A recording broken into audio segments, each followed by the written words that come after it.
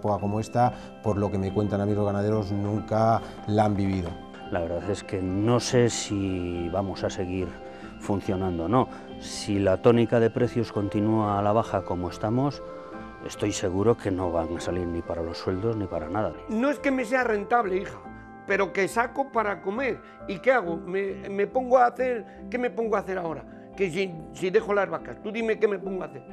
Ahora mismo, con las tónicas de precios que tenemos, mm, ya no vamos a hablar de años, hablaremos de unos meses, porque ya empezamos al precio actual a no cubrir los gastos de producción, los gastos, los costes fijos. Es que las cosas tienen que valer lo que tienen que valer porque si no, pues, pues no va, la cosa no se puede sostener. Y si esta situación persiste en el tiempo, pues habrá muchas más exportaciones, por desgracia, que se irán quedando en el camino.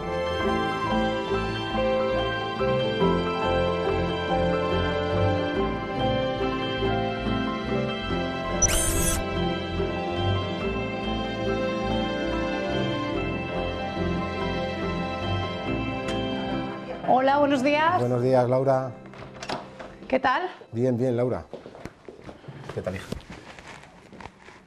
Vengo para hablar del sector lácteo. ¿Se puede hablar, eh, Nato, de alguna época dorada del sector lácteo a lo largo de los últimos años? Hombre, eh, época dorada yo creo que nunca. Siempre ha sido un sector que ha estado un poco ahí en el punto de mira y siempre ha tenido, ha tenido épocas mejores, ha tenido épocas peores, pero nunca una época como la que estamos o la, que están viviendo actualmente los ganaderos. Yo creo que una época como esta, por lo que me cuentan a mí los ganaderos, nunca la han vivido. En los mejores momentos del sector lácteo, eh, ¿Cómo se vivía? ¿Cómo eran? Lo, primero hay que poner un poco en lugar. Vamos a ver, estamos hablando de un sector, que es el sector lácteo, que en España somos deficitarios. En España solo somos capaces de producir un 60% más o menos de lo que consumimos. Eso es lo que es un poco el sector lácteo, que es que encima es un sector en el cual tenemos que recurrir a otros mercados para satisfacer las necesidades que tenemos aquí en el mercado, en el mercado interior. Yo creo que era un sector antes que se estableció un sistema de cuotas que le daba cierta estabilidad, o yo diría bastante estabilidad esas cuotas. Esas cuotas se establecieron en una época en que, que, había un proceso también de reestructuración, a cada ganadero, dependiendo de lo que producía, se le asignó una cuota, pero luego los ganaderos, si han querido crecer o han querido producir más, han tenido que recurrir a comprar cuota a otro ganadero que lo dejaba o que se salía del sector, y yo creo que eso le daba mucha estabilidad al sector. ¿Era rentable con ese sistema de cuotas? Pues sí, yo creo que trabajando, luchando, ha, habido épocas mejores, ha habido épocas peores, pero bueno, los ganaderos han ido invirtiendo mucho, han ido saliendo para, para adelante y más o menos pues era una forma muy digna de vivir. ¿Y ahora qué pasa? Pues ahora la situación pues se ha complicado mucho porque yo creo que en la Unión Europea ha habido un grave error de cálculo. La Unión Europea se liberalizaron las cuotas, ella pensaba que la producción solo iba a subir un 1%, pero nos hemos encontrado con que la producción ha subido en muchos Estados miembros un 10 o un 15%. Yo creo que el detonante de todo esto ha sido la desaparición de esas cuotas que daban estabilidad al sector. Esas cuotas han desaparecido, cada ganadero tenía libertad para producir más, eh, más leche, en muchos sitios se ha empezado a producir mucha más leche y ha empezado a haber una sobre oferta en el mercado, que al final es sobre todo lo que está por lo que estamos o lo que nos está arrastrando a la situación que, con la que estamos actualmente. Para que nos hagamos una idea, cuando hablas de sistema de cuotas, ponnos un ejemplo por, eh, en, euros. Eh, ¿Cuánto se le pagaba al ganadero? Bueno, el ganadero tenía una cuota, que eran unos kilos por los cuales solo podía producir esos kilos, y la industria, pues con los kilos que tenía el ganadero, pues a un precio que se, preestablecía, que lo marcaba el mercado, unas épocas podía ser más, otras épocas podía ser menos, se le, se le pagaba esa leche. Pero es que encima eh, la cuota era un valor patrimonial muy grande para el ganadero, al cual se le ha expoliado. Ha habido ganaderos que se han gastado verdaderos dineros, dinerales en cuota para poder crecer, porque si un ganadero entraba y quería crecer, solo podría crecer comprando cuota a otro ganadero. Era un valor patrimonial muy grande. Encima un ganadero era como su plan de pensiones, porque un ganadero cuando se jubilaba sabía que tenía una cuota que le valía un dinero, la vendía en el mercado y, y obtenía un dinero por esa cuota. Y esa cuota que la compraron los ganaderos con su sudor, se les ha expoliado también. Y encima para llegar a esta situación, porque si hubiera sido para estar en otra mejor situación, pero encima es para estar en una situación peor de la que en la que estábamos antes.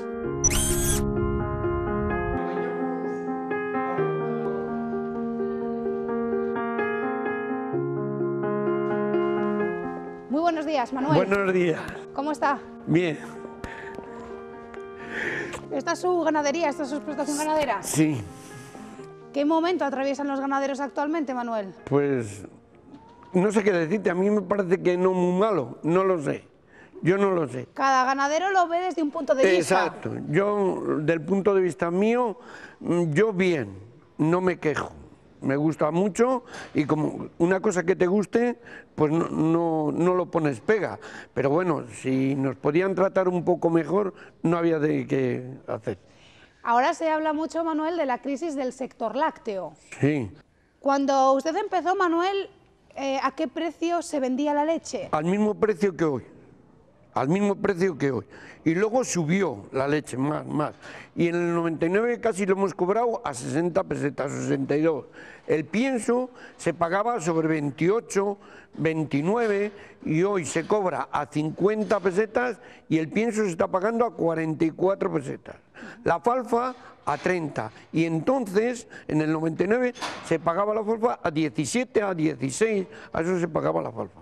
¿Vivían mejor antes, Fernando, que ahora de la explotación ganadera? Que si vivía antes... me- Mejor. ¿Sacaba más dinero? ¿Era más rentable? Sí, sí, porque mira, antes tenía que pagar, ¿sabes? Paga- sacaba para pagar. Si tengo que pagar lo que he pagado antes, no sacaba, no saco hoy. Y antes sacaba para pagar y para hacerlo, sin tener nada, sacaba. Hoy, el que tenga que pagarlo, se tiene que presinar. Porque creo que pagando las comidas a esos precios y dando la leche a ese precio, mm, echas cuenta y no te, no te sale. Hoy porque está pagado y porque trabajamos mi mujer y yo, no hay nadie de fuera. Pero antes, eh, ahora se paga el veterinario, eh, la farmacia, el pienso, se paga para todo, ¿sabes? Y te viene, dices, bueno, ya me ha sobrado algo. Si tienes que apartar de ahí para pagar, nada. Antes, en el 99, cobraba la leche y digo, venga, para pagar esto, esto y esto, uy, para comer ya no hay. Y salía más, ¿sabes? Pero ahora no sale.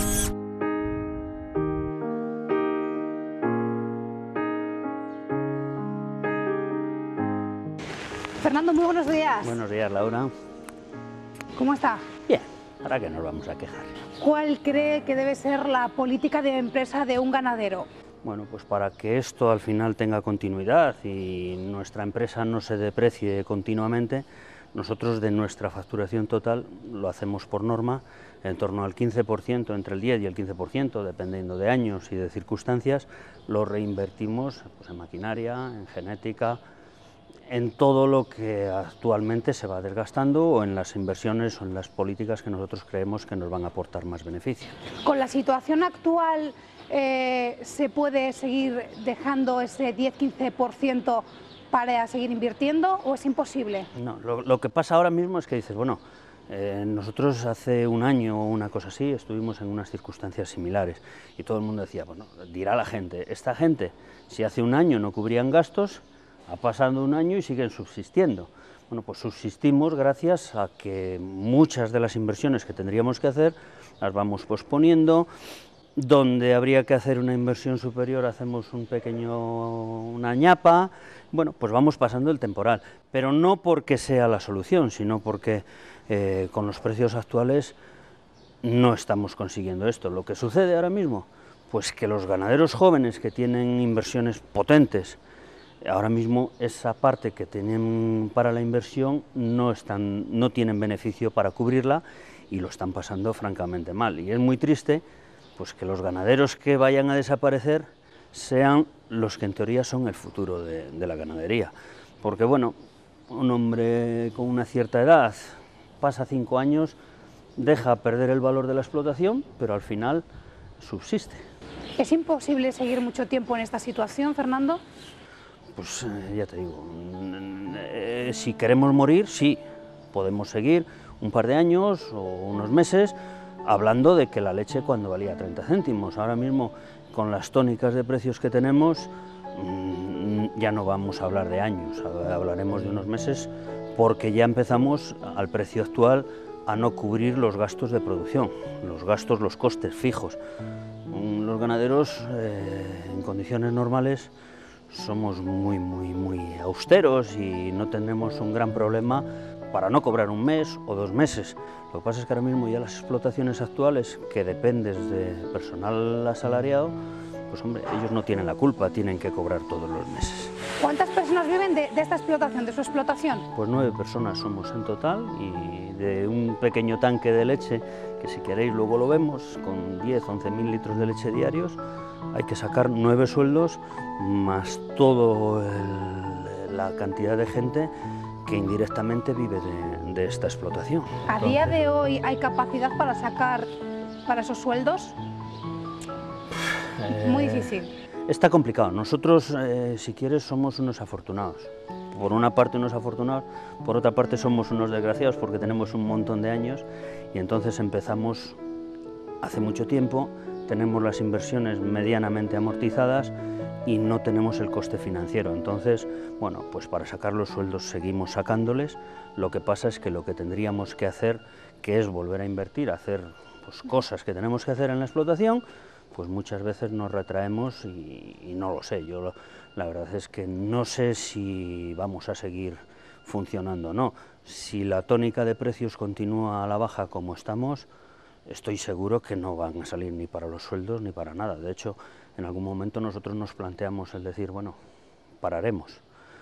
Nuestra explotación, a lo que te decía antes, que somos un poco afortunados, eh, hace unos años llegamos a la conclusión de que la ganadería no podía ir por su cuenta, que tenía que ir ligada, a una agricultura para cerrar el círculo y, y así funcionamos. Entonces, estamos aguantando pues un poco mejor el temporal. Producimos el 80% de lo que consumen nuestras vacas. Lo producimos en nuestra explotación, por lo tanto eh, hay un 80% de la alimentación que no tiene costes de transformación, de intermediarios, de facturación, financieros, que al final pues todo eso supone un montón de dinero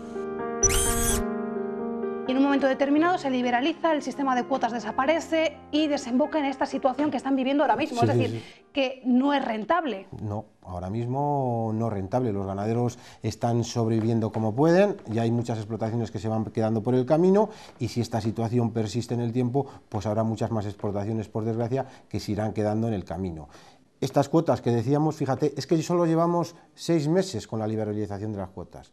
Y fíjate hasta dónde hemos llegado. Porque encima, ahora desde la Comisión Europea, que se están dando de manera implícita, han visto que han metido la pata y que han tomado una decisión que no ha sido como ellos pensaban, ellos mismos ya en la próxima Comisión Europea, o una Comisión Europea que hay esta semana, están instando a los Estados miembros a que se autorregulen, es decir, a que produzcan menos. Resulta que si hace seis meses teníamos unas cuotas en las cuales estaba controlado lo que se producía, liberalizamos esas cuotas y ahora a los seis meses ya están diciendo que cada Estado miembro se tiene que autorregular, que hay que producir menos porque el mercado se está saturando. Si eso lo teníamos arreglado hace seis meses, fíjate que lo, que han hecho nuestros políticos desde Europa. Se han hecho pactos, se han hecho acuerdos. Eh, cuéntanos eh, ¿qué, se ha hecho en estos seis meses para intentar salvar el sector. Bueno, efectivamente, eh, durante el verano, pues en el verano hubo muchos actos, hubo una marcha blanca, estuvo mucha repercusión mediática y mucha gente a lo mejor que podría leer el periódico tal y cual, pues se dijo que había muchos acuerdos, que se les iba a dar dinero a los ganaderos, pero muchas veces todo esto es falso, vamos a esperar. A los ganaderos han tenido por un lado dos líneas de ayudas, una línea a nivel europeo y otra línea a nivel estatal. La de a nivel europeo ha sido una, una ayuda yo creo que simbólica al final el dinero que ha venido de Europa es un dinero muy pequeño por los litros que hayan producido durante los cuatro últimos meses, que para que te hagas una idea, muchas explotaciones de Palencia o la media no llegan ni a mil euros lo que han cobrado por esas ayudas. Y luego hubo eh, sobre la mesa, el gobierno español puso 20 millones de euros, pero yo creo que en esto ha habido un reparto muy sectario, porque de esos 20 millones de euros, 18 millones de euros han ido prácticamente para Galicia y 2 millones de euros para el resto del Estado español. Y encima, con el agravante que aquí en Palencia eh, los ganaderos de Palencia son ganaderos muy profesionales, muy tecnificados y como son buenos ganaderos y hacen las cosas bien, se les ha penalizado porque tienen una calidad muy buena en su leche. Y se ha premiado a ganaderos como lo de Galicia que no, no están tan tecnificados ni tienen tanta canalidad como los ganaderos de aquí. Es decir, que las ayudas que han venido y que se han publicado a bombo y platillo y que mucha gente que pueda ver la tele o pueda leer la prensa pueda decir ya les están dando dinero, realmente no han llegado a los ganaderos.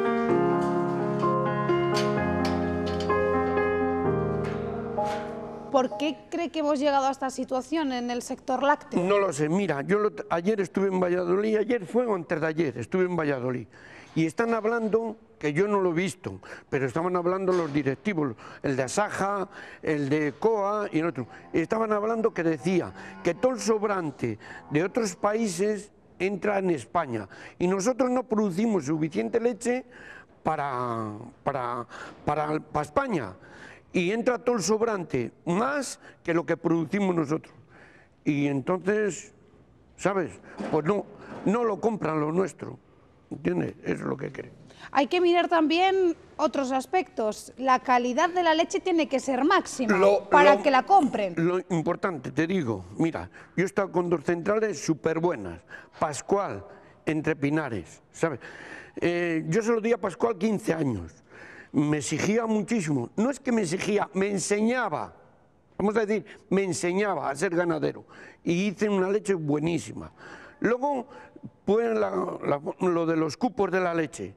Y no me pudo ayudar. Tenía que comprar cupo de leche, me gasté casi 9 millones de pesetas y se lo, se lo ofrecía entre Pinares. Y me dijo entre Pinares, yo te lo cojo. Y me ayudó a pagar el cupo de leche. Me lo pagas todos los meses un poco y se, me lo dio, me dio el dinero para comprar el cupo de leche, compré a un ganadero de paredes y luego, y me ayudaba él, pues mira, si este mes no me puedes pagar, te lo dejo para el mes que viene. Me ayudó así a comprar el cupo. Y después se lo compré a la Junta también, a comprar leche a la Junta, que vendía cupos de leche, también se lo compré. Y así se lo fui dando a Entre Pinares y loco de contento de lo bien que me tratan no pagan más porque no paga nadie. Si es que eso no es así. No pagan más porque no pagan nadie. ¿Y usted se conforma? Me conformo. Me lo paga 0,30. ¿Sabes? Me conformo. Me conformo, te digo el por qué. Porque, a ver, ¿cómo te lo explicaría yo? ¿Cómo te lo explicaría? Eh, saco para pagar. No me hace falta. Si tengo que invertir y hacer lo que hice hace 7, 8 años, que acabado hace poco, ¿eh? Hace 6 o 7 años me ha sobrado algo de dinero, pero antes, según lo cogía de aquí, lo ponía aquí, según lo cogía aquí, lo ponía aquí, no me sobraba, ¿sabes? Y gracias a Dios, pues ahora no es que me sobre, pero tengo para poner ahí y no tengo que llamar a nadie a pedir dinero. Usted como veterano con experiencia, si le preguntan, es complicada ¿eh? la pregunta, ¿cómo podríamos salir de esta crisis del sector lácteo ¿Qué diría? Muy difícil. A mí me has hecho una pregunta que es muy difícil. Yo no te la sé comentar. Yo no sé qué decirte. No traer la leche de fuera y gastar lo nuestro. Pero eso ya no te lo puedo decir. Eso lo tendrán que decir los políticos. No traerlo de fuera y gastar lo nuestro. Y si necesitamos, lo compramos. Pero no traer más de fuera de lo que nosotros producimos. Decía yo, no lo sé.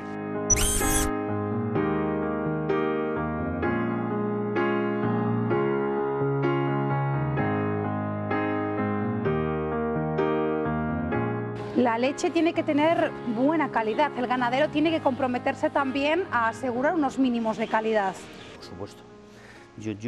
eso es que es una cosa que la damos por sentada. Hace, eh, yo no sé si recuerdo, 12 o 14 años cuando se instauró el laboratorio del acto interprofesional, que a nosotros nos da una garantía porque sabemos que la leche que vendemos se analiza y que los parámetros que nos pagan les analiza una empresa externa a las industrias pero eso a la vez garantiza al consumidor que producimos una leche de excelente calidad. En el momento en que eso no sea así, pues nos dejarán de recoger. Aparte de eso, nosotros como empresa, como ganadería, consideramos que debiéramos de aportar un plus y lo que hemos hecho ha sido contratar a una empresa externa que nos hace una auditoría para confirmar y certificar que cumplimos con el Código de Buenas Prácticas Ganaderas. En cuanto a trazabilidad de la leche, en cuanto a la trazabilidad de medicamentos, los periodos de supresión y, la retirada de los residuos, bueno, pues todos en, la alimentación que se realiza una analítica para confirmar y, contrastar toda la calidad de los alimentos, todo lo que engloba la ganadería, hay una empresa externa que una vez al año nos eh, hace una, auditoría y certifica si cumplimos o no cumplimos el Código de Buenas Prácticas Ganaderas, que bueno, pues es la forma de garantizar a todo el mundo que la leche es de la mejor calidad. Yo creo que en Palencia el 100% de los ganaderos eso lo cumplen y lo cumplen con, garantías totales. Por lo tanto, es una de las cosas que a mí ahora mismo no me preocupa. El gran consumidor puede estar totalmente tranquilo que producimos un gran producto. La leche de otros países es más barata, pero no tiene la misma calidad. Te digo la verdad, yo no quiero ser demagogo. La leche de, Francia, por ejemplo, la que se consume a diario, tendrá la misma calidad que aquí. Porque en Francia tienen el mismo código de buenas prácticas. ¿Qué sucede? Que esa leche que hoy se produce en Francia, cinco días, ocho días después llega a España. Se la ha pasteurizado o se la ha uperizado, se la ha comprimido para que el transporte salga más barato y está recogida hace siete u ocho días. La calidad en inicio estoy seguro que es muy similar o igual que la nuestra. El producto final o el producto que aquí se elabora no tiene nada que ver por, por frescura simplemente, pero luego en el tema del precio hay ahí pues lo que está pasando en Francia o en otros países, las, las empresas, las empresas que recogen en Francia, lo que consumen para lo que ellos recogen para consumo diario se paga un precio, a un precio que nosotros consideramos digno, 33, 34 céntimos. Esa leche los ganaderos lo consumen, eh, que es más o menos el equivalente al 90% de lo que se produjo en la última campaña de cuotas. Hace un año acabó la última campaña de cuotas, en el 2013-14, o 14-15, 14-15, y el 90% de eso se paga a un precio digno, los ganaderos saben que si, si cumplen con esos entregas de volúmenes van a cobrar un precio digno, pero el 10% restante se paga en torno a los 23-24 céntimos. Y luego quien quiera producir más, pues es muy libre, se quitaron las cuotas, entonces todo el mundo puede producir lo que considere oportuno, pero esa leche se le paga a 15 céntimos el litro. Por lo tanto, cada ganadero sabe lo que tiene que producir. Eso es la política de Francia. Esa leche que se paga a 15 céntimos habitualmente se utiliza para la exportación, que es la que está inundando nuestros mercados y nos está, está matando. Y los ganaderos producen. Es una política de Estado. Yo creo que estoy convencido que Francia con eso lo que está consiguiendo es intentar asfixiar el sector productor en España para que a la vista de dos, tres años ser ellos el sector productor de España. Estoy seguro que es la solución. Lo que pasa es que las empresas aquí ahora mismo dicen que les sobra leche. No recogemos la leche porque nos sobra. Vamos a dejar de recoger. Pero te dejan de recoger la leche que pagan a 30 o a 28 o a 27 céntimos. Cuando les dices, vale, me dejas de recoger esa leche, esta leche que no me recoges, si te la doy a 15 céntimos, a 20 céntimos, entonces ¿cómo te voy a dejar que tires la leche? Esa sí te la recojo. Lo único que están haciendo es arreglar la cuenta de resultados diciendo que es leche excedente, que nada más lejos de la realidad. Es, a ellos esa leche les hace falta. Lo que pasa es que con la disculpa de decir que no les hace falta, te lo cogen a 20 céntimos. Entonces, ¿el problema gordo? Pues que al ganadero, si, si, si en España se, se utilizase una norma de decir, vamos a recoger el 90% o el 100%, porque en España somos deficitarios de producción. Y dice, bueno, pues vamos a recoger el 100% de la última campaña de cuotas a un precio digno, 32, 33, 34 céntimos.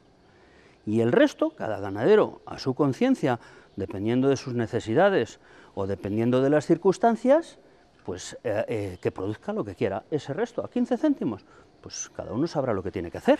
¿Cómo cree que se puede solucionar eh, la crisis del sector lácteo? es muy difícil. Imposible. Yo ahora mismo es muy triste y es lo que realmente me preocupa.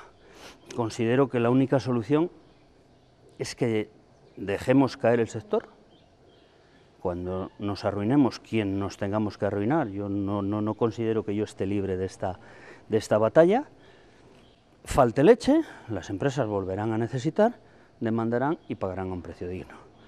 ¿Qué pasa? Que con estas políticas a corto plazo, pues sí, ahora mismo se retirarán un 30, un 40, un 50% de los ganaderos, dentro de tres años o dos cobraremos unos precios buenos, dentro de cinco volveremos a tener el mismo problema y entonces, si mirásemos a un poco largo plazo, hace un año, cuando quitaron las cuotas, nosotros reclamamos que no se quitasen, que iba, yo tenía muy claro que iba a ser nuestra ruina. Las experiencias de Estados Unidos en un mercado liberalizado nos dicen que, que esto va a dientes de sierra, que unas veces compras, cobras muy buenos precios y otras veces estás en la ruina. Pero en Estados Unidos tienen una política distinta. Viene un capital de un fondo de inversión y dice vamos a poner 10 millones de dólares y vamos a poner una ganadería de 10.000 vacas. Empieza a ser rentable, la mantenemos. No es rentable como en los 10 millones de dólares es una pequeña cantidad de ese fondo de inversión, lo retiran, cierran y no pasa nada. Aquí no se cierra un fondo de inversión, aquí se cierra una familia. En nuestro caso nueve personas, en el que sean un padre y dos hijos o un matrimonio, esos cierran y se van a ir del sector definitivamente. Entonces, yo creo que es un error. Eh, hay que mirar las cosas un poco más de largo plazo y, y nos estamos equivocando. Si la política de cuotas, que hasta hace un año era, yo creo que muy interesante, establecía una producción y nos la establecía el Estado. Ahora mismo esa producción nos la establece la empresa. Si yo soy amigo de X empresa y estoy cerca y le produzco la leche, el, tipo de leche que esa empresa necesita, a mí me promueve para que produzca más.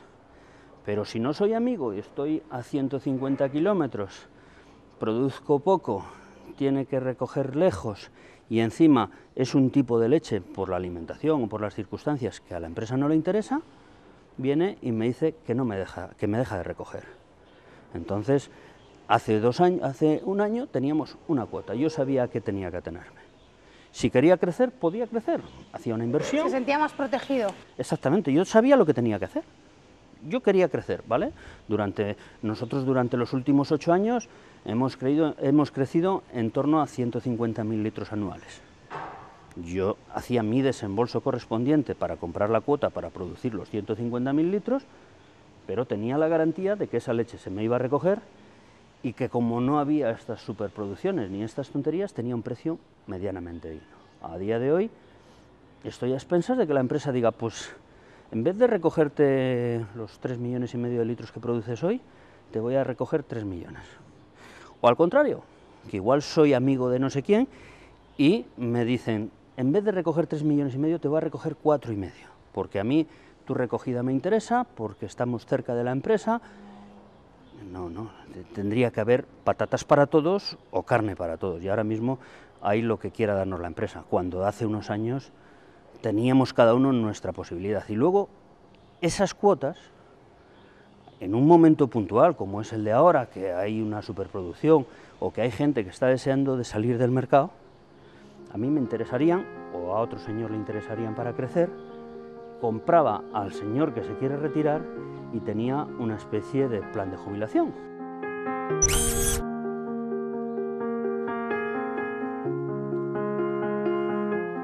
Si esta situación, Nato, continúa así, ¿Qué futuro les espera a los ganaderos de la provincia de Palencia? Bueno, pues mira, el futuro es negro, aunque la leche es muy blanca, pero el futuro que tiene ahora mismo en el corto plazo es, un, futuro bastante negro. Por un lado, eh, la gran distribución que tenemos, pues poco a poco ha, pasado a manos alemanas y manos francesas. Los franceses y los alemanes son los grandes productores de productos lácteos. ¿Qué pasa ahora mismo? Pues que estos, estos países que tienen excedentes, sus excedentes muchas veces, en vez de mandarles a la intervención a 0,16, lo están vendiendo los ganaderos allí a 0,20, lo están transformando en productos y esos productos están entrando en España a través de esas cadenas de distribución. Pero la calidad no es la misma. Pues posiblemente no sea la calidad la misma, Pero es que encima no solo se está poniendo en riesgo al ganadero, sino que se está poniendo en riesgo a la industria transformadora, porque si están trayendo queso muy barato de estos países, al final ese queso no lo venden los que lo producen aquí, o tienen que bajar sus precios que a lo mejor, lo que has dicho tú, son productos de, más, de mayor calidad, pero muchas veces la ama de casa cuando va a comprar a un lineal, pues a veces a lo mejor hay cierta gente que no compra calidad, compra precio y al final si ves que está más barato pues compras ese producto y eso pues se está poniendo mucho en peligro no solo al ganadero sino también a la industria transformadora. ¿Cree que tiene solución? Pues hombre, yo creo que tiene que tener solución. ¿Cómo no va a tener solución? Porque ¿cuánto tiempo pueden eh, continuar así los ganaderos? Porque llega un momento que si no es rentable, los números no salen, hay que cerrar pues los ganaderos van a aguantar todo lo que puedan y hasta que puedan, pero nosotros esperemos que desde todas las administraciones, para que entre todos, porque al final es un problema de la distribución de la industria y de los ganaderos, aunque los grandes damnificados son los, son los ganaderos, no cabe la menor duda, pero yo creo que de todos hay que intentar eh, poner sobre la mesa eh, soluciones y que este problema poco a poco, en vez de agravarse, como se está agravando cada día, pues tenga avisos de que se vaya, se vaya solucionando. Eh, hay mucha leche por ahí purulando cada vez más barata, porque por un lado cada vez hay más cisternas por ahí que están a muy bajos precios y eso al final está haciendo de factor de arrastre a todo el sector.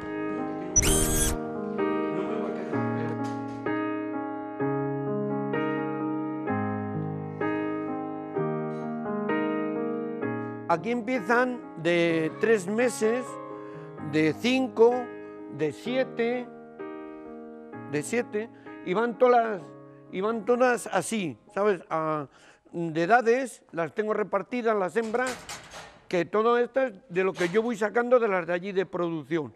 Aquí de, de más tiempo ya, estas ya van llegando al año, y estas otras de este otro lote las estoy examinando ahora que ya tienen 14 meses. ¿Eso también cuesta dinero?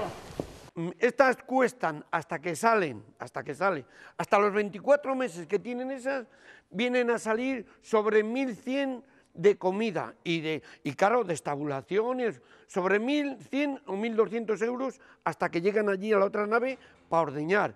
No, si esto gratis no es.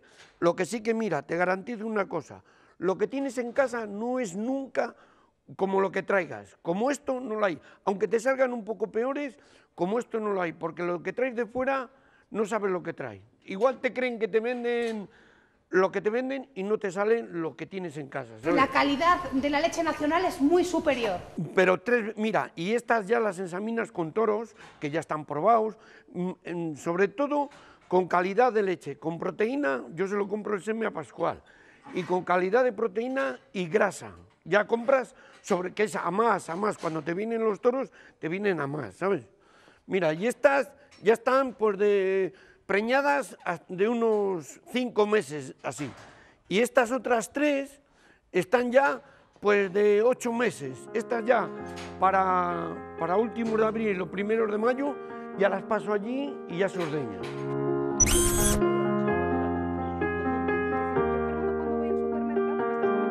Ahora mismo Tú firmas un contrato, en el mejor de los casos. Son números. Y el contrato vence el día 1 de abril y a partir del día 1 de abril la empresa, porque sus números no le cuadran, porque no le interesan, porque obviamente si le proponen la leche a 20 céntimos es mucho mejor que comprarla a 32. Entonces llegan y te dicen, no, a partir del día 1 de abril, como yo he cumplido mi contrato, tú te quedas sin recoger. Cuando ve los beneficios si es que hay beneficios que le produce eh, la venta de la leche, ¿qué piensa? Bueno, pues yo te, voy a explicar un poquitín. Nosotros eh, en el año 13 se facturó una cantidad.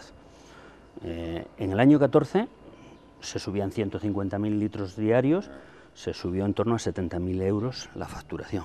En el año 15 se han facturado con 150.000 litros más 250.000 euros menos. Eso es un caso particular. Yo he facturado en el año 15, todo el año fiscal 15, 250.000 euros menos que en el año 13, con 300.000 litros más de producción.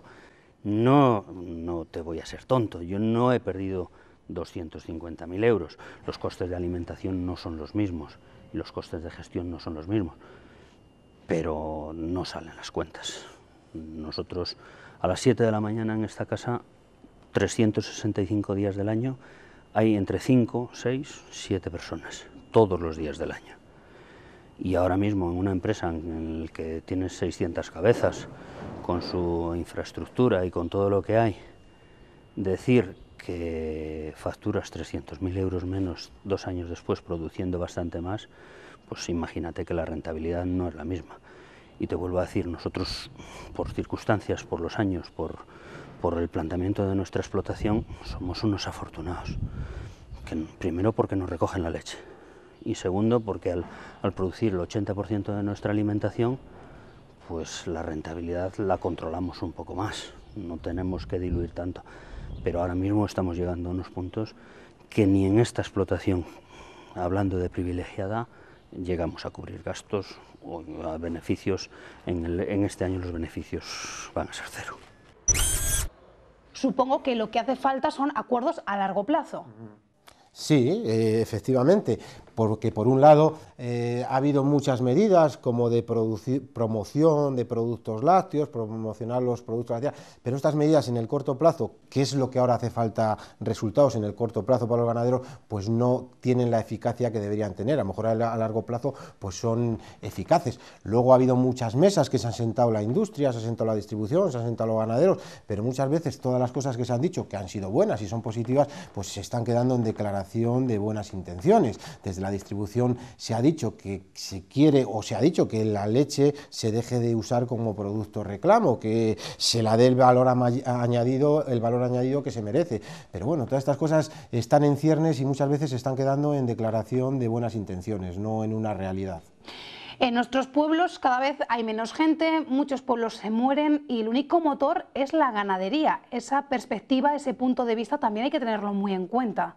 Efectivamente, bien lo has dicho tú, Laura. Es más, hemos tenido elecciones hace cuánto, hace cuatro meses o cinco meses, y todos los políticos, sobre todo en Palencia, se llenaba la boca hablando del desarrollo rural, de los pueblos, de qué soluciones tenemos. Pues mira, si en los pueblos una de las pocas cosas o uno de los pocos motores que hay es la ganadería, porque en los pueblos eh, eh, los ganaderos tienen que vivir donde tienen su ganadería, tienen que estar allí. Y hay muchas ganaderías en muchos pueblos que además tienen empleados, que tienen gente y es el verdadero motor de muchos pueblos del medio rural. Si los políticos que han hablado de ello y han hablado de los pueblos, pues ahí tienen ahora dónde luchar y por qué luchar por esos ganaderos, porque si no queramos traer a los pueblos, vamos a dejar que no se vaya lo poco que tenemos. Quizás esa sea la clave también. Pues sí, si todos los políticos y todo en las elecciones que hemos tenido hace muy poco, todas las conversaciones o todo lo que se hablaba sobre el, el, desarrollo rural, el medio rural y que hay que dinamizarlo, pues ahí tenemos un motor que puede ser claro y en muchos pueblos el motor de muchos pueblos y de muchos municipios son esas granjas. Si esas granjas se cierran, van a morir. Pues entonces vamos a luchar porque eso no pase.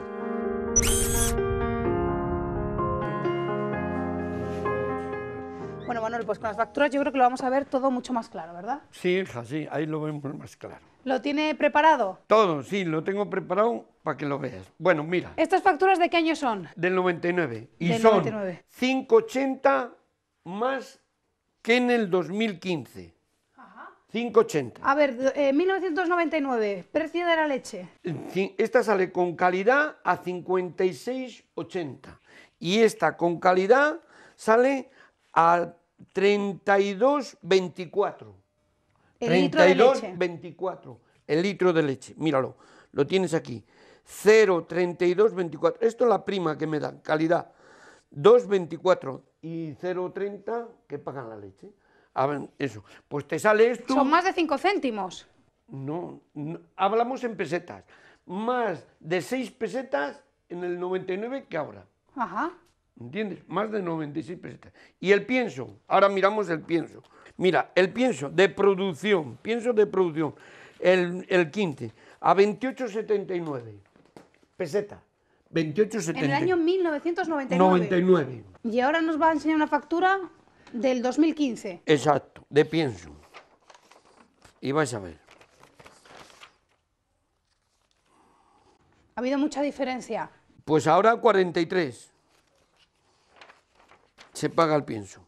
A 43. Fíjate, si una vaca se come 10 kilos, ¿eh? Si la leche vale ahora a 50 pesetas y antes lo cobrabas a 58 y pagabas el pienso a 28, ya lo pagas a 40, si lo das, mira, si ahora lo das al mismo precio, a 50 pesetas, y pagas el pienso a, a 28 pesetas, sigue quedando dinero. ¿Me entiendes? Se pueden pagar las industrias, como las, las, explotaciones, como lo yo pagaba entonces, pero ahora no se puede pagar. Claro, es que ahora no es rentable. Es que mm, ya... Con estos números. Pues por eso te quiero decir, y llegas a la falfa, y la falfa también, porque yo compraba falfa, lo compraba a 15 pesetas, y ahora vale a 30, pero que saco para comer. ¿Y qué hago? Me, me pongo a hacer, ¿qué me pongo a hacer ahora? Que si, si dejo las vacas, tú dime qué me pongo a hacer. Pero usted ya no tiene que pagar nada de inversión, ¿no? Lo Exacto. Exacto. Gracias a Dios. Mira, te lo hago muy fácil. Del año pasado, del 14 al 16, he cobrado con la misma leche, las mismas vacas, 36.000 euros menos de leche. ¿Qué te parece? Y me sigue siendo sacando para comer. Pero si tengo que pagar la explotación y pagar maquinaria, pues no te sale. Eso es. ¿Sabes? Eso es lo que te quiero decir. No hay otra cosa. ¿Entiendes? ¿Hacia dónde vamos, Manuel? ¿Esto cómo va pues, a terminar? Pues no lo sé, hijo, pero es que no es solo esto, que hay que mirar todo. Que hay que mirar todo. ¿Cuánta gente hay que está cobrando 400 euros y 600 euros? Y a esa gente no la puedes decir, oye, que va por un litro de leche para desayunar, me lo tienes que pagar a 200 pesetas. A un euro, pues es imposible. Bueno, pues antes comentábamos, Laura, me comentabas un poco la problemática del medio rural. Buenos días. Buenos días. Que en el medio rural se está quedando muerto y uno de los motores del medio rural es la ganadería. Pues aquí está un ejemplo claro de lo que es el medio rural. Eh, Roberto es alcalde de un pueblo de Desa y tiene una ganadería de vacuno y en su municipio, si no sería por su ganadería de vacuno, por lo que genera su ganadería de vacuno, pues prácticamente el pueblo estaría en vías de desaparición. Roberto, buenos días. ¿Cuántas personas eh, viven de la ganadería en Dehesa de Romanos? Bueno, pues personas que vivan de la ganadería andesa de romanos, pues directa y indirectamente unos 14. 14 ahora mismo, 14 personas de los que están ahí empadronados. ¿Cuántas personas hay empadronadas? Pues 48 o 49 hay ahora mismo en el padrón. Por lo tanto, la ganadería en el medio rural es un motor importante generador de riqueza también. Claro, pues es que en aquel pueblo ya no quedan, por desgracia, más ganaderías que la mía y entonces, pues, pues si no, aquello sería solamente, pues nada, no habría prácticamente nada, pero así, pues todos los días hay algo de actividad. Va el veterinario, va el camión de la leche, va, bueno, y lo, lo, los empleados que tengo viven ahí en aquello tres familias y bueno, tienen niños que van al colegio, va el panadero que les compran pan y todo esto, las cosas de, de un pueblo de haber gente a no haber gente. Roberto, ¿los ganaderos estáis asustados? ¿Tenéis miedo por la situación que atraviesa el sector lácteo actualmente? Asustados ya no estamos asustados porque ya yo creo que estamos curados de, de espantos, de estos sustos. Lo que no vemos es una solución pronto, una solución cerca, ¿sabes? O sea, que es que, que esto como que va a ser para largo y, y no vemos una solución. Entonces, pues no sé lo que va a pasar. ¿Habrá ganaderos, Roberto, que no puedan aguantar por mucho tiempo esta situación? Pues no, yo creo que hay ganaderos que, y los de, me meto yo dentro también, ¿eh? que es que las cosas tienen que valer lo que tienen que valer porque si no, pues, pues no va, la cosa no se puede sostener y entonces pues a ver qué pasa. ¿No es rentable? No es rentable, producir a estos precios no es rentable. No es rentable porque si hay que contar todos los gastos que hay. No solamente me comen tres y saco y saco cuatro, no, es que de ahí no hay que quitar muchos gastos, hay que seguir manteniendo las cosas como tienen que estar, hay que seguir en un nivel de certificación de las granjas que nos exige la Junta que estemos y entonces con esto, con, poniendo todos los gastos que hay reales no es rentable. Madre mía, con el trabajo que da una explotación ganadera, que al final de mes se llegue justo. Pues ya sabes, los 365 días del año, mañana y tarde hay que atenderlas porque porque son así, los animales son así, no se los puede dejar, porque cualquier otro negocio, yo voy a un bar y me encuentro cerrado por defunción, a un surtidor, cualquier sitio te ponen el letrero, cerrado por defunción, pero yo, si mi padre, Dios quiera que dure muchos años, fallece, no puedo poner cerrado por defunción, los obreros y algunos de mis hermanos o yo tendremos que ir a atender a los ganados porque es así. Porque usted todos los meses tiene que pagar varias nóminas. Pues sí, hay ocho o nueve nóminas todos los meses que salen de, de las vacas, de la leche y bueno, pues es que andamos de ahora mismo muy, muy, muy justos. No llegamos, o sea, que es que esperemos que haya una solución. Yo quiero ver que igual una buena salida sería que el, que el gobierno sacaría una jubilación, un plan de jubilación para explotaciones ya de gente mayor, porque dicen que estamos produciendo mucho y así igual mermaba la producción y a ver si así se podría arreglar algo. Pero bueno, ellos que son los que lo tendrán que decidir y lo tendrán que ver, una solución. Roberto, muchas gracias. Gracias a vosotros.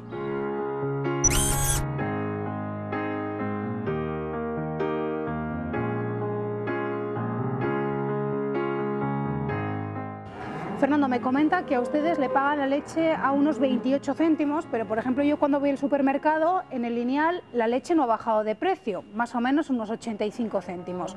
O hay muchos intermediarios o hay pocos que ganan mucho. ¿Cómo funciona? Mm, los- las asociaciones agrarias llevan mucho tiempo pidiendo al Ministerio que se estudie eso, que se estudie la distribución de los precios una vez que salen del, del productor. Las del productor lo tenemos claro, 25, 33. En, ese, en esa horquilla se mueven más o menos todos los litros de leche que se entregan en Castilla y León, excepto esos 4 litros, ya que ya ahora, el problema es que esos a 15 céntimos ya se vende bastante leche, entonces eso ya. Pero esa leche que se vende a 15 céntimos se envasa. No es que no tenga buena calidad, es la misma leche. Lo que pasa es que las industrias pues tienen más margen. No pasa nada más que eso. No te come, Laura. Estate tranquila, que es una vaca tranquila. Y, y el ¿Dónde problema viene ese de... dinero, esa diferencia de los 28 céntimos a los 85 céntimos que la vemos en el supermercado? ¿Quién se queda con, con esa diferencia, ese Eso es lo único que pedimos, saber quién es el culpable de nuestra situación. Las empresas dicen que es la distribución. La distribución dicen que son las empresas las que le venden. La, distribu- la distribución haciendo un acto de buenismo, algunas de las distribuciones, muy pocas, pero alguna distribución ha dicho, vamos a trasladar dos céntimos en litro de leche a la empresa para que la empresa le reporte directamente al ganadero. Un acto de buenismo que es de agradecer. Pero yo quisiera saber de los 30 céntimos o de los 28 céntimos que cuesta el litro de leche, 2 céntimos brick, 3 céntimos tratamiento, X céntimos distribución, X céntimos eh, transporte y veríamos quién es el que nos está causando el problema. Porque si la leche se vende a 60 céntimos y ganan dinero, yo no te aconsejo que compres la de 80. Me quedan dudas que a 60 céntimos se pueda vender leche, pero yo no podría aconsejar. Pero sabiendo, y es muy fácil, dónde está el precio de venta de la industria a la distribución y cuáles son los márgenes de la distribución. En el momento en que lo supiésemos, por lo menos yo sabría a quién te tengo que decir, Laura, este señor nos está robando. Ahora mismo no lo sé. Yo lo que sí que al, al- al consumidor, a ti, a cualquier persona, sí que le puedo aconsejar. Dice, mira, la mayor garantía de frescura, de producto, de calidad, eh, un producto que no se ha tratado, porque eh, la leche pasteurizada, pura y dura como la conocemos, solamente está hervida, es un, un pequeño tratamiento térmico y la calidad de la leche es mucho mejor. En Palencia tenemos alguna empresa, Trapa, alguna otra empresa más, que produce leche pasteurizada. Esa leche es la que nos garantiza todo, que es de Palencia, porque si no, si la tenemos que dar un transporte ya no nos va a dar la calidad, que no tiene nada más que un pequeño tratamiento térmico y que el productor es el distribuidor. Entonces los márgenes, o la, gran mayor, la mayor parte de los márgenes, se quedan en, en el productor, que es un poquitín lo único que podemos pedir. Que el consumidor, yo no sé si es bueno o es malo, yo no, yo- estamos en Europa o estamos en España y yo no le puedo pedir al consumidor que consuma el producto de mi granja, porque sería muy bonito.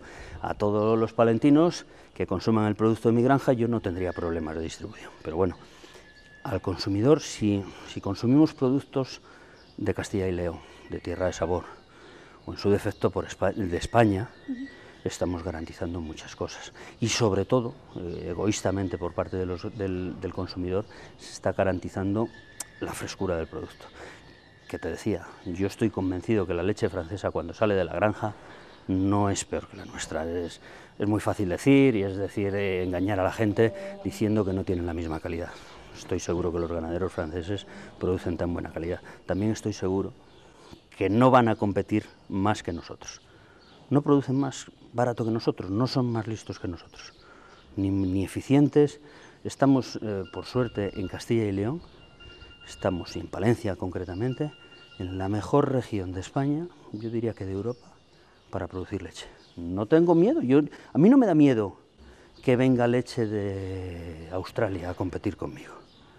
Pero claro, que me den las mismas herramientas, que las empresas sean tan consecuentes como son en, Europa o en donde tengan que ser, y siendo con las mismas herramientas, yo tengo eh, genéticamente tan buenas vacas, o mejores vacas que en toda Europa, eh, la alimentación la consigo tan barata porque somos productores de todos nuestros alimentos, que es ahí donde yo creo que la rentabilidad de las explotaciones tendríamos que ligarla un poquitín a la tierra. Estoy absolutamente convencido que cerrando un poco el círculo, ya si fuésemos capaces de, de vender lo que producimos, ya sería el no va más, pero cerrando el círculo en cuanto a la alimentación y a la producción de leche, garantizamos mucho la rentabilidad. Aquí en, yo soy de Santander, de hace, bueno, ya no sé ni muy bien ni de dónde, pero vine de hace 31 años de Santander. En Santander hay un dicho que dice que vamos a extender el abono, o vamos a echar el abono a, los prados. Y aquí, eso que en Santander se considera abono, un aporte nutritivo a los prados, aquí se dice vamos a tirar la, basura o vamos a extender la mierda. Ese concepto es el que tiene que cambiar. Las vacas aportan estiércol, el estiércol es un, nutriente para las tierras y las tierras producen doble con estiércol. Si al final tú lo consumes, ese círculo es un poquitín lo que yo creo que se tendría que promover en, Castilla y León sobre todo. Manuel, vamos a hacer unas cuentas así como muy por encima. Exacto. Vamos a ver. En leche al mes. 12.000 euros. 12.000 euros. Vale. ¿Y gastos? Pienso. Vamos con Les vamos a poner solo lo de alimentación. Pienso. Pienso. Pienso. ¿Cuánto pongo? 5.000. 5.000 euros. Alfalfa. Alfalfa. 3.000. Silo de maíz. 3.000. Ya está. Perdona. Aquí Aquí, las que hemos visto, las terneras que hemos visto en el otro lado, comen de esto, ¿sabes? Pero es que esas terneras vienen aquí a producción, por eso decimos, se gasta aquí, porque aquellas también hay que alimentarlas para que luego te den leche, ¿sabes? Y cuando las estás dando dos años de comer, también es para esto. Te quiero decir que no lo comen solo las 50 de ordeño, lo comen todas, esto es de todas. Aquí nos da ya 11.000 euros, Manuel. Exacto. Quedan mil. Quedan mil. Escucha, hay que pagar luz, hay que pagar el gasoil, que ha bajado mucho, pero hay que pagar lo que ha bajado, hay que pagar. Y ya está. Y ahora falta el sueldo mío y el de mi mujer. ¿Los dos pagan autónomos? Los dos. Yo pago 245 euros y mi mujer 235 Pues las cuentas no salen, Manuel. ¿Y qué haces? Otra cosa no puedes hacer. Ya te vuelvo a decir, que no puedes dedicarte a otras cosas a esto, ayudar un poco o, estirarlo a ver cómo se puede, pero esto es así. Y te digo que aquí comen las otras terneras que luego pasan a las de producción, ¿sabes? A las de producción. Y eso, lo único es eso. Si yo el año pasado con la misma leche he cobrado 36.000 euros menos que este año, era el sueldo de mío y de mi mujer, que menos de ganar entre los dos. Oye, que nos levantamos a las 6 y nos metemos a las 11. Igual los domingos cobramos igual el domingo y el sábado. Trabajamos, cobramos igual. No es porque trabajemos que menos de cobrar 1.500 euros cada uno. ¿Sabes? Quitas 250 para, para lo de autónomos, te quedan 1.250. Yo creo que no lo merecemos. Hacemos algo más de 8 horas. Sábados y domingos no pedimos ninguna extra. Ni que nos paguen las vacaciones, ni cosas de esas. ¿Sabes? Yo creo que eso es lo que es. Y eso es lo que no ganamos. ¿Y esto a usted no le cabrea? Pues no. ¿Qué quieres que te diga? No. No me cabrea porque soy muy feliz en lo que estoy. No me cabrea. Pero yo no sé, si yo con lo mío ayudaba a todo el paro, no, estaría más contento. Pero como no sé que no les voy a ayudar, lo mío es una miseria, pero no les voy a ayudar.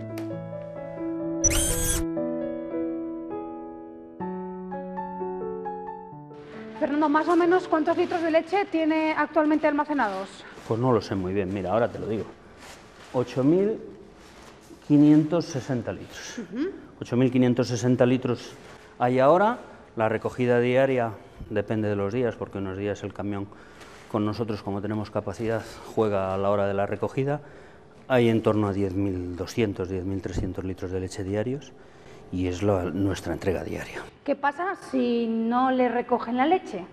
Pues muy fácil, hoy nada. Mañana probablemente tampoco porque tenemos capacidad en torno a 25. Pero cuando esté eh, a tope, cuando ya no quepa ni un pues litro más de leche en sus tanques... A partir de dos días hay que destruirlo, hay que tirarlo. ¿Y eso les cuesta también dinero? Y hay que llevarlo a destruir, por supuesto. Tendríamos que llevarlo a alguna planta de, destrucción. Sé que hay, me consta que hay una en León, me parece que hay otra en Olvega, en Segovia, y entonces tendríamos que ponerlo en Olvega y pagar, no sé si son, no, no exacto, sé que la Junta de Castilla y León tenía un convenio para destruir la leche, lo que no sé si directamente como ganadero yo entraría en ese convenio, pero eh, por supuesto, yo la leche que, que no pueda, que no me recoja la empresa, tengo que llevarlo a destruir. Tiene que entrar un poquito de miedo. Cuando estos tanques ya están casi llenos, el precio de la leche es muy bajo, y casi, casi, ustedes los ganaderos no pueden negociar, la empresa manda. No, no, no. Nosotros ahora mismo mm, lo único que podemos hacer casi que es llorar. Y es muy triste decirlo. Pero si yo mañana a la empresa, porque no quiere, porque yo como ganadero no le intereso, porque básicamente porque no quiere, seguramente que tiene sus razones. Yo no, yo no voy a cargar tintas contra ninguna empresa diciendo me dejan de recoger por una necedad, seguramente que eh, tienen las almacenes llenas de leche, de queso, eh, sus circunstancias, encuentran la leche más barata en otro sitio y no es rentable mi leche. Pero llega un punto, yo te voy a decir, es una sensación que la hemos vivido. Hace un montón de años se cortó la carretera, la autovía de aquí de Quintana del Puente y estábamos almorzando pues tal día como hoy, celebrando el cumpleaños de uno de los chicos que trabajamos aquí en la empresa. Estábamos almorzando y pues, entre las risas decía mi hermano, nevaba, y dice mi hermano, leche Pascual, si no viene, me da igual. Ay, amigo, al día siguiente, a esa misma hora, no había venido leche Pascual. Teníamos, era menos leche, teníamos 16.000 litros de leche en el tanque y no había dónde ponerlo. Entonces, el problema es mucho más serio. Nosotros vivimos de esto con estos 10.000 litros diarios, o entre 9 y 11.000 litros diarios que producimos, tienen que vivir nueve familias. Tenemos que cobrar, pagar Hacienda, hacer todo. ¿Tú sabes qué susto te llevas, por no decir un palabrón, cuando ves que no tienes dónde vender la leche? Hace pues, 10 años, una cosa así, nosotros en la empresa que estábamos no estábamos de acuerdo. Eh, nosotros pedíamos que la analítica la hiciese el Laboratorio Interprofesional Lácteo. Nosotros estábamos dispuestos a poner una muestra aquí lacrada, decir, bueno, el camión llega, recoge una muestra, se la lleva, a mí me deja otra muestra lacrada en un frigorífico y si cuando mañana me dicen que esa leche no estaba en condiciones de ser consumida o lo que fuese, yo tener un contraanálisis. La empresa no estuvo de acuerdo en eso y dijimos, bueno, pues si no llegamos a este acuerdo, mañana nos vamos. Pero claro, eran otros años. Había ah, otras empresas. Encontramos otra empresa. Pero tuvimos 17.000 litros de leche en el tanque. Y no sabes qué sensación más angustiosa pensar que llega la hora del ordeño de la tarde y que no tienes dónde colocar la leche. Que tienes que coger y buscar a alguien que te venga a recoger la leche para llevarlo a León, a donde sea, y pagar 10, 12, 15 céntimos por destruirlo. Es, es, complicado. Yo sé que queda, no sé, es muy fácil, nosotros siempre andamos quejándonos, porque es un sector que más o menos llevamos en, en crisis toda la vida. Pero esta situación que estamos viviendo ahora, de decir, no nos recogen la leche y no sabemos a quién ir, porque yo mañana puedo enfadarme con la empresa, mira, oye, no estoy de acuerdo, o puede enfadarse la empresa conmigo, no podemos, puede que a la hora de negociar, que no hay negociación, que ese es nuestro gran problema. Las empresas llegan y te ponen encima de la mesa un contrato con sus condiciones. Y te dicen, mira, estas son las condiciones para recogerte la leche, tres, cinco, un año. Y tú llegas y dices, bueno, pues de acuerdo, le firmo porque estoy de acuerdo con las condiciones. Firmas, perfecto. Ahora, oye, no, yo en estas condiciones de precio no estoy de acuerdo. En estas condiciones de pago, de recogida, no estoy de acuerdo. Ya, pues tú verás, vete. Y hoy no encuentras yo eh, esta leche eh, pegando a la autovía con capacidad para casi una cisterna diaria, o sea, un, un camión de recogida cada dos días, sin ningún problema de inhibidores, ningún tipo de problemas, no encontraría quien me recogiese la leche. Entonces, eh, no te puedes, yo, yo ahora mismo pues tengo que ser muy sumiso y muy tranquilo de cara a la empresa que me recoge para que no se enfaden y sean buenos y se porten muy bien conmigo y me recojan la leche. Y además que decidan pagarme, porque ese es otro problema. Nosotros entregamos, hoy estamos a día 10, eh, tenemos entregadas 40, bueno, 29, 39 días de leche, febrero entero, y nos quedan otros 20 días entregando la leche para cobrar la leche del mes de febrero. Y yo el día 29, 30 de, de abril, de marzo, perdón, sabré cómo voy a cobrar la leche que entregué los 29 días de febrero. Y eso es, es triste, es triste que yo, nosotros intentamos hacer los planes de producción, los costes a un año, compramos materias primas a un año intentando pues abaratar y saber cómo vamos a producir. Tenemos la alimentación pues, prácticamente para todo el 2016 comprada, por lo menos ajustada y tal. Pero ajustamos la parte nuestra, la que podemos hacer, pero la parte de la venta no sabemos cómo lo podemos hacer.